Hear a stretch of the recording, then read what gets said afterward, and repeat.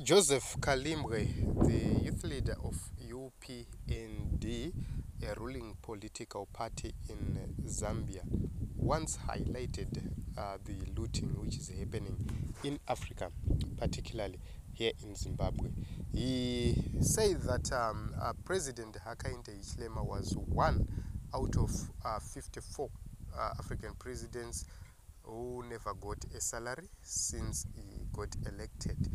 And um, uh, he mentioned that uh, while the Zambian president has um, uh, uh, made it clear that he was not going to take any salary, uh, the other African presidents are not only taking uh, exorbitant salaries, they are actually collecting those exorbitant salaries, allowances, then they go further to cut deals which further enrich themselves and um, leave the country in debt with nothing to talk about.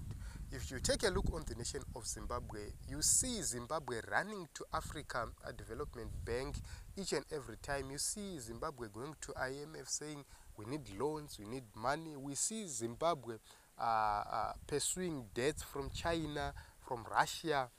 But here in Zimbabwe, we have enough minerals to actually finance the kind of projects we want.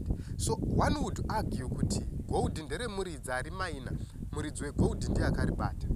The question is isiso munomu munyika yezimbabwe hatina hono why are we not forming macompanies ehurumende otanga kumaina goridhe that gold rotongobuda riri renyika because if we manage to mine uh, 1000 kgs of gold that is around 54 million.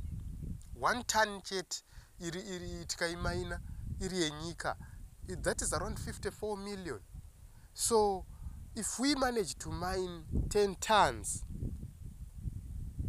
we have around 500 million plus if we manage to mine 100 tons how much do we have so we, we, we really need to, to, to have uh, uh, um, a government which is serious, a government which is not um, uh, complaining each and every time.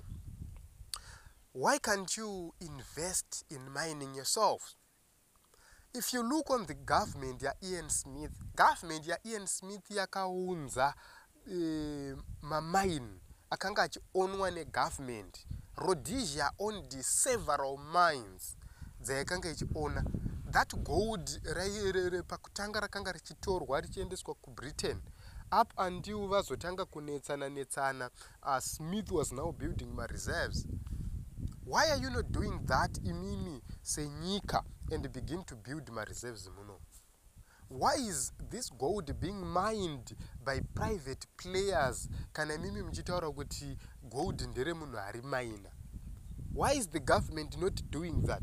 That is the reason why we are saying you have failed. Leave power so that those who are capable can come in and um, uh, take over begin to mine gold uh, through government owned companies then begin to, to keep that gold as reserves begin to uh, uh, uh, sell that gold for the benefit and development of the nation of zimbabwe instead of developing other nations instead of developing individuals